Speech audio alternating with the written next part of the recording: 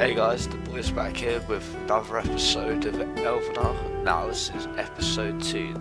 Now where we left off in the last video, we just got started and we got some basic buildings and productions going and we were trying to save up to get enough resources to finish off our next quest.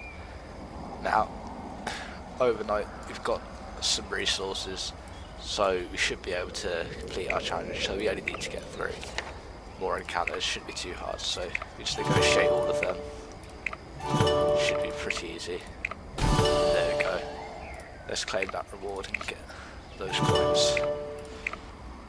So our next is to start through beverages. We might as well just go straight into that. Collect all our stuff.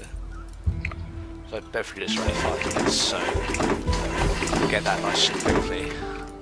Now you can see at the top here we've got our KPs are completely full, so we need to spend them before we start losing out. So if we can just check what we have here. So if we go into our research, we can see that we finished putting our points into our steel manufactory, which we have now found out is our boosted manufactory. So that is the one we want to get first.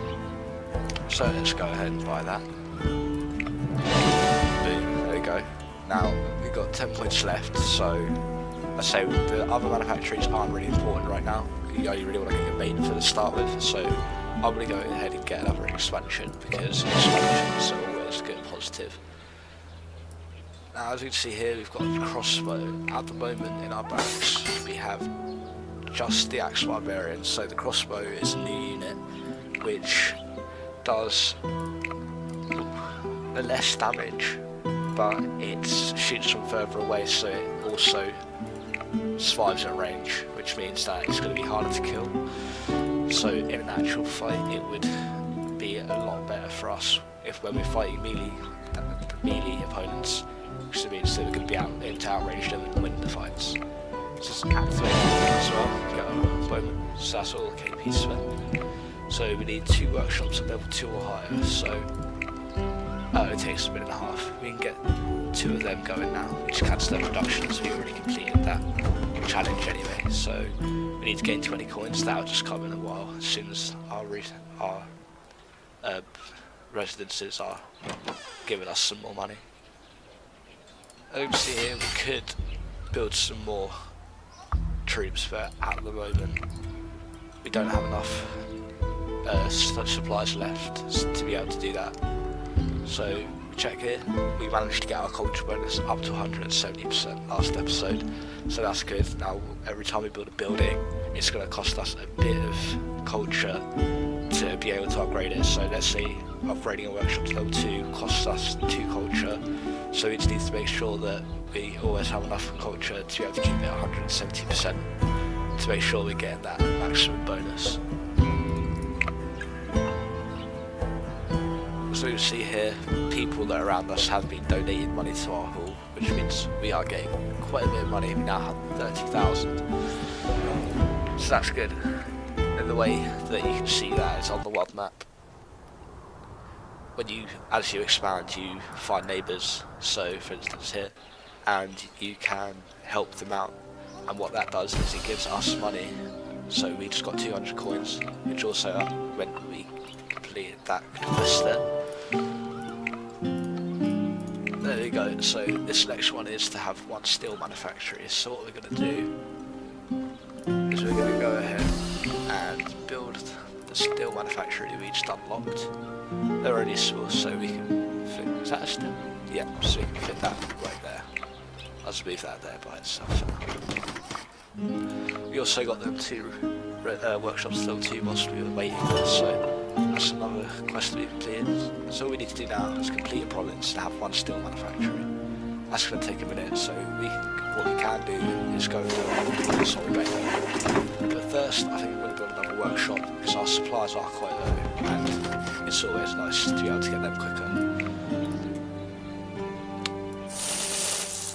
Collecting them coins as we go, of course. So, going to upgrade another one of them to level 2. And then we're going to go to the world map and we're going to complete this province we have down here. So simple, just we could negotiate, but it's costing us planks, so we might as well use these uh, home the armor we do have, because at this level it's still enough to easily use.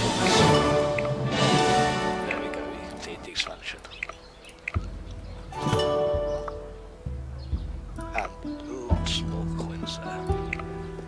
So 10 residences, that's quite a lot. So we're gonna have to crack on and get a few of them built out. So what I'm gonna do is I'm gonna actually move these workshops so that we can get. Oh, we don't need them once so we can keep all of our different buildings together so looks a lot cleaner and it's a lot easier to see everything. So when we've got all of our residences together, we can collect all the coins really easily rather than searching around for them. So that's that the start of prestigious ring productions. That's a steel, and that's the three hours it costs to do that, and it's going to cost us 120 gold and 12 supplies. So remembering that if we want our productions our production goods we have to pay to be able to get them, whereas workshops and houses give us them for free. So we're going to carry on now and work our way to them 10 houses. So I'm just going to be really quick here, just level 1 builds for now, just to get the buildings down, get the quests going. Staying on these five minute productions because we're here so we can get them every five minutes, making sure we're getting the most supplies that we can whilst we're here. So two more houses, that's just another few more seconds. And that's to be yet another quest complete. So as we can see, we're also getting more points from completing that uh, province, so we can go spend them in a minute by one knowledge point. So if you didn't know, up here where there's pluses next to the knowledge points, you can buy knowledge points for different things. You can pay and buy them with diamonds, or you can buy them with goods or gold. So we're gonna we got loads of gold, so we're gonna buy knowledge point there because we're gonna get back four times the amount and all them supplies anyway. So it's always worth it. So both solve six encounters and complete so that's going to be very easy. All we're going to have to do, all we're going to need to do for that is go onto a province so it's going to complete one. So I'm just going to put them on to upgrade for the moment. We're going to come back out to our old map. So right now we can either get the silks that we've already found here or we can scout for a new one what we could do is look for a steel one, but because there isn't one here straight away, I'm just going to put one onto search, and then I'm just going to go to the silk one.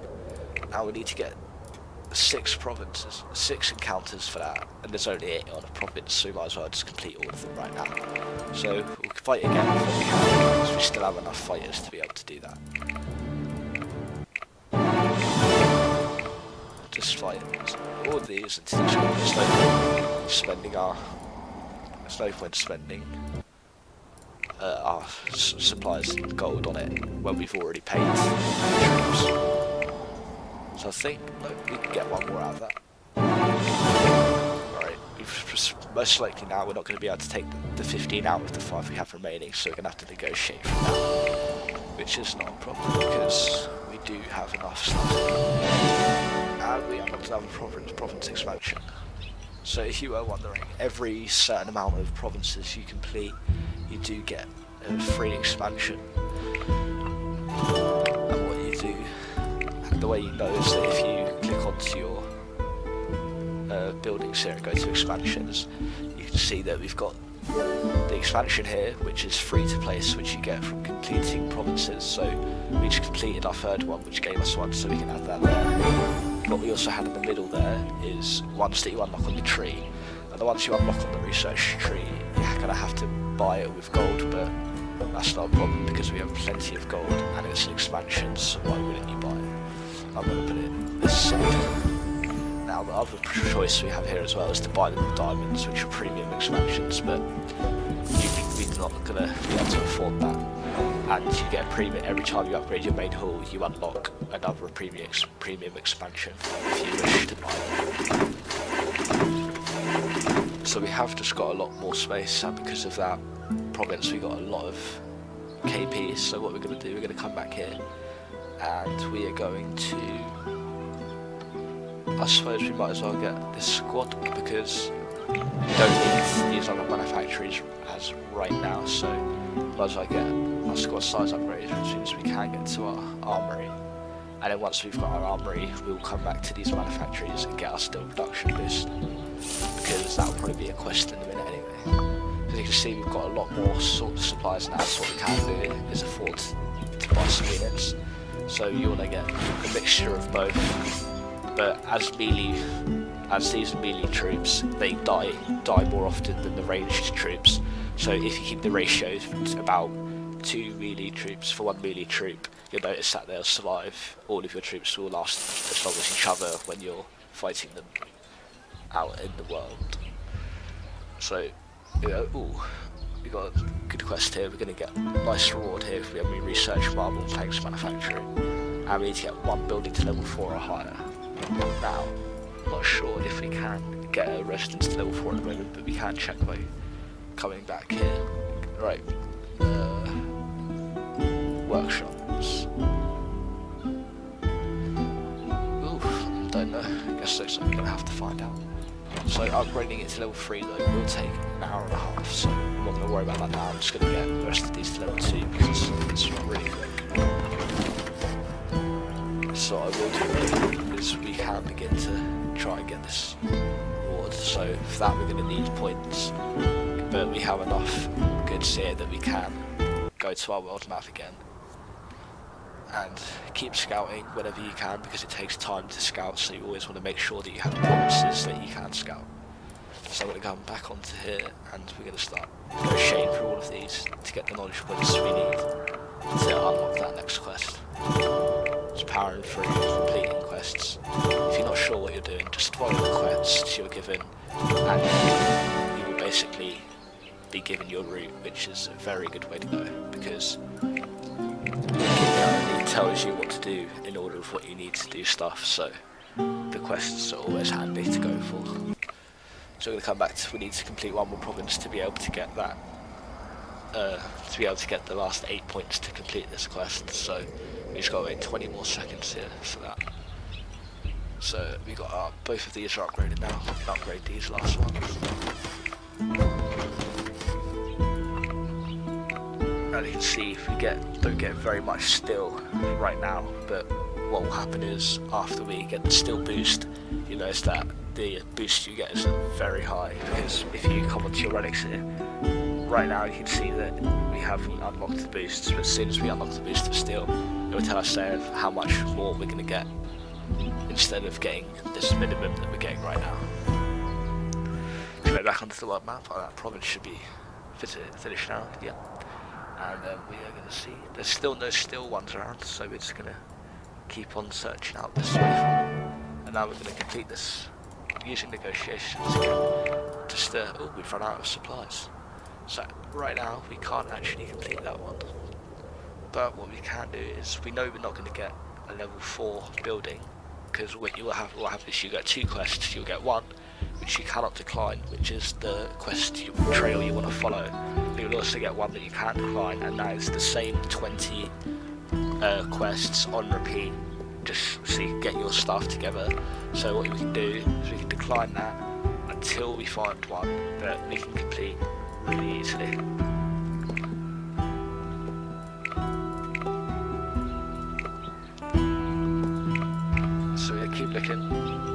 And we find one that we can complete really easily.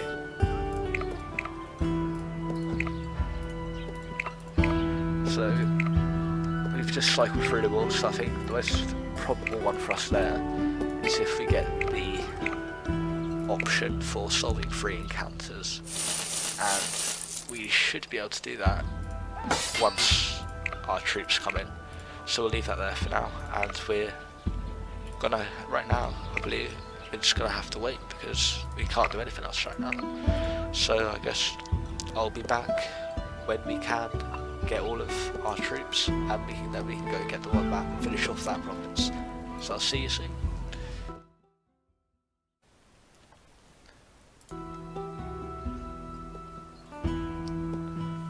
One thing that I did forget to mention is that you can actually buy knowledge points with your coins.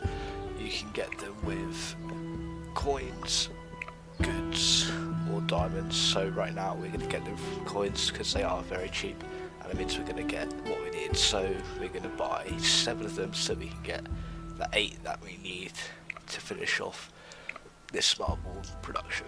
One more. There we go. Yeah, so that's one way to do it, but remember that every time you do buy one, the, they get 500 more expensive, so they do get pretty pricey towards the end. However, we do need another 14 more points to get our boost, so we've got nowhere near enough gold to be able to buy that now, so I'm afraid we are going to have to wait to get that one though, so I'll be back in a second.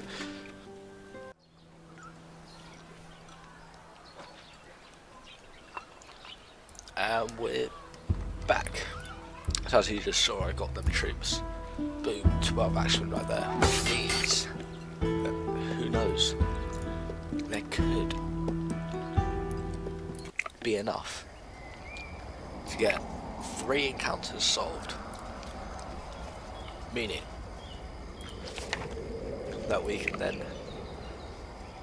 progress enough to get this quest, which means we get enough supplies to keep solving more, which means that we will have enough. We can solve enough to get the production boost that we are craving here. So let's go. That's not a good start. We need to find some nice small. Oh, nothing small, but what we can do is use one of them like that. We can then negotiate that one.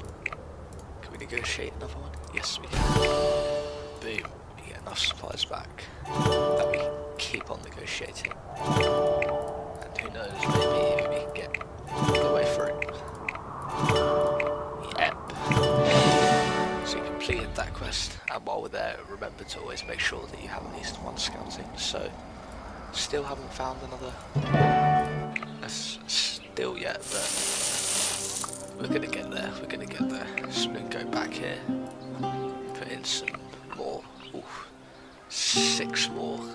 points. Let's see how much would that cost us.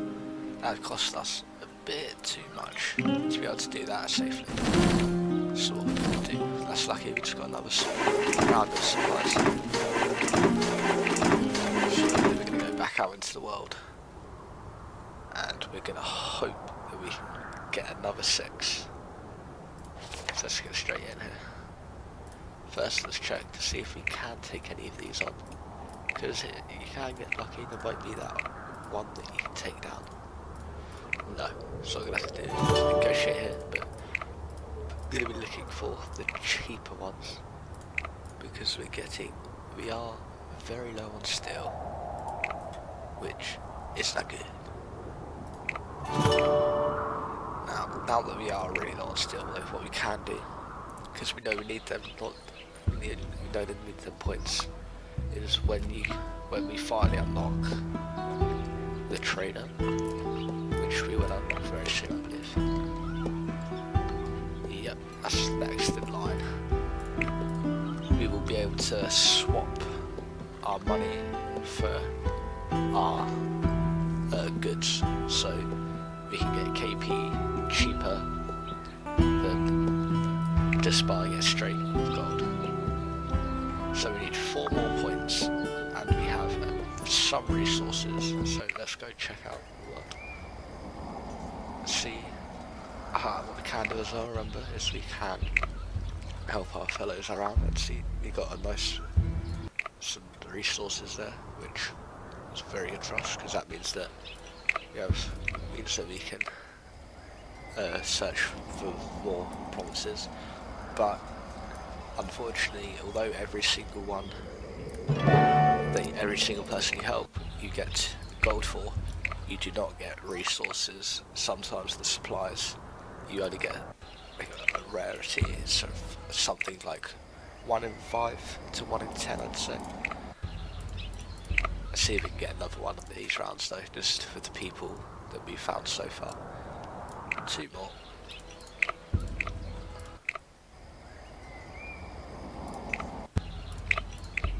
So we're only able to get one there, but what we did do was get some, so let's see if we can negotiate our way out of some more. There's another one, and can we do any more?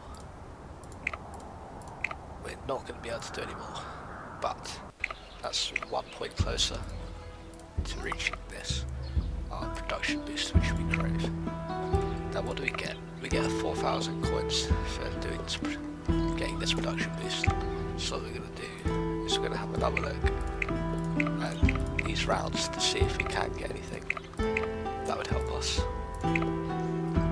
complete a province. That will come in handy, so we'll use that one there for now. Because there's some amount of time, it's half an hour till we can fight properly. And then we will be able to finish this province and take what will be exact, exactly what we need to complete our production boost quest. But for now, we wait, unless of course we use diamonds. We have 140 diamonds. I suppose it wouldn't be too bad to complete that one that we can with some diamonds. So let's do that. And there was this other one up for grabs as well. Not anymore. But we did get another one there. So now we only need two more points.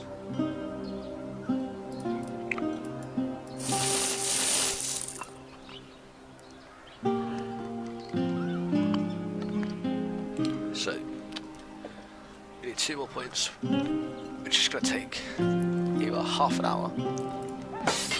Yeah, in half an hour we'll be able to do this unless that new province we scouted has brought us more people to look at. Where's that province gone? That was this guy here, so we would have to scout away so that we know that we're going to find someone. So over here, thousand coins. So if we click on that one there and we wait the three minutes, then we will be able to find another person who hopefully give us some supplies.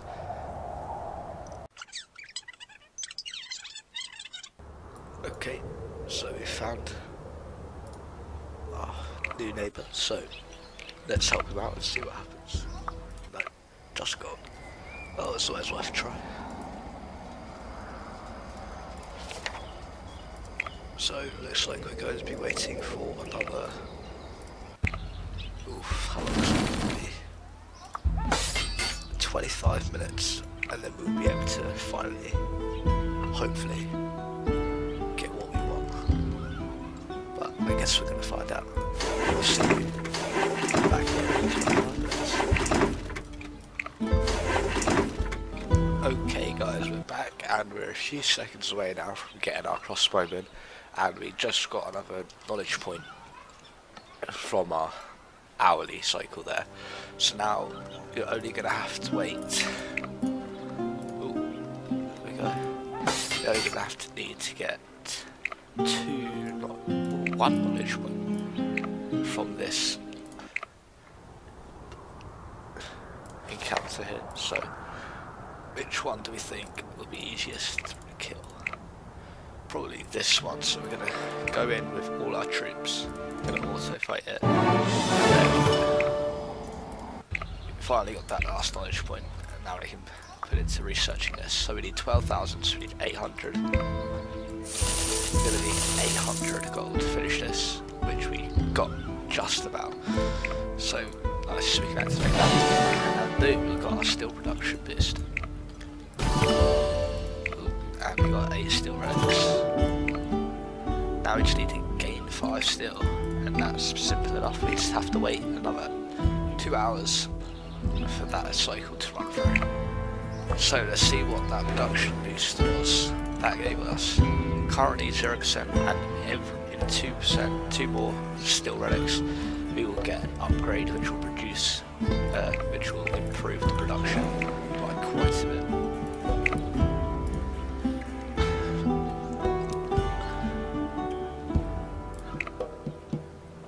So as you can see, this episode we've completed quite a bit. We've unlocked all of our production manufactories for the first tier, and we have got our squad upgrade, a second tier of troop, and now we've finally got our first boost. And not forgetting that expansion at the start there too.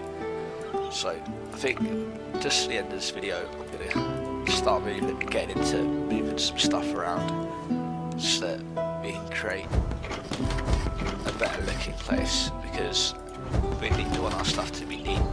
And residences they're not too important in terms of where they are so it would be good to keep them off by themselves because they're not going to be doing much for us. Whereas things like workshops we're going to be using a lot because of their cycles and we're going to need to have them all together like this so they're nice and easy to collect and there we go another cycle complete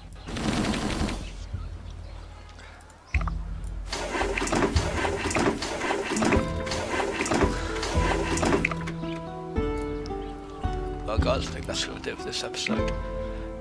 Whilst whilst I'm not recording I will progress and I will try to get up to the main hall here and then I'll, rejoin you when we reach this point here. So I'll see you next episode